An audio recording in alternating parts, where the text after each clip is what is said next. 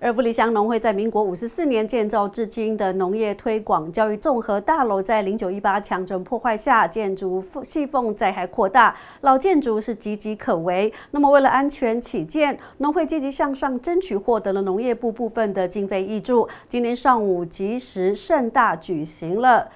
动土祈福典礼，那么现场灌溉云集，祈福庆贺，总工程经费约一点二亿元左右的新建大楼，农会总干事张素华表示，渴望在明年年底批建完成。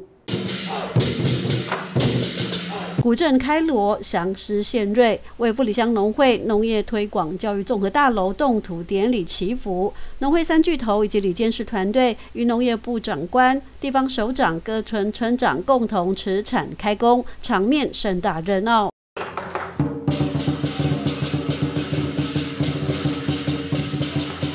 富里乡农会旧有的农业综合大楼，民国五十四年建造至今五十七年。二零二二年的零九一八大地震，以及今年零四零三连续强余震以及风灾，老旧建筑受损严重。为了安全，农会是积极向上争取拆除重建，获得农业部经费挹注，今天顺利动工起造。那也是在呃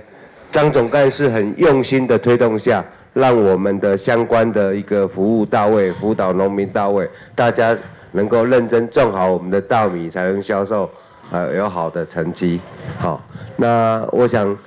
护理农会对农民的啊这样的服务，对农民的付出，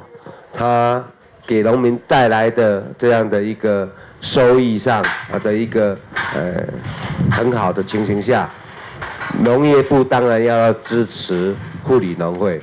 典礼后方原办公大楼已经夷为平地，准备动土辟建，在地美学兼具农产教育与服务等多功能化的三层楼建筑。总干事张树华说：“未来不仅是办公大楼，更是承载。”富里乡农业的传承，这个新的建筑物要符合符合时代的潮流，还有我们富里在推农村观光，还有农村美学，所以我们希望这个建筑物是未来游客可以来打卡的景点。它不仅承接着我们农村金融的一个机构，更承接了我们农民教育的一个中心。所以将来的实农教育，还有包括产销班的这些集会教育训练的活动，这些都是我们的一个很重要的一个据点，更是承载富里乡农业文的传承，占地四百多平的建地，原地起造三层楼的农会综合大楼，在农业部挹注部分经费以及农会六千多万元的配合款，总工程经费将近一点二亿元左右。今天是正式动土批建，农会总干事张树华万分感谢各界的支持协助，并表示